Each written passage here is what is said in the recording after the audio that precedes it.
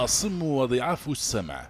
الشريحة الواسعة في ليبيا والتي لا توجد تقديرات دقيقة عن أعدادهم بالكامل في البلاد.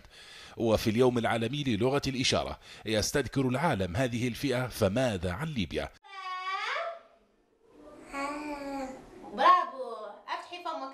بلغ عدد الصم حول العالم. حسب آخر إحصائيات الاتحاد العالمي نحو 72 مليون شخص 80% منهم يعيشون في البلدان النامية ويستخدمون أكثر من 300 لغة. وتعد لغات الإشارة لغة طبيعية مكتملة الملامح على الرغم من اختلافها هيكليا.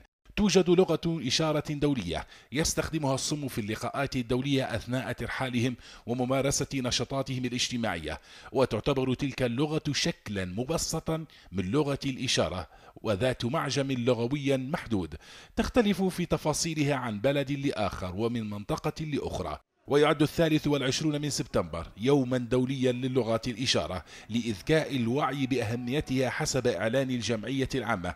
لكن هذه الشريحة في ليبيا تعاني إهمالا من الدولة عدا بعض الأنشطة الخاصة والمحدودة التي يقوم بها اتحاد الصم وضعاف السمع في ليبيا ويتساءلون أين نحن من جدول اهتمامات الدولة بمختلف كياناتها؟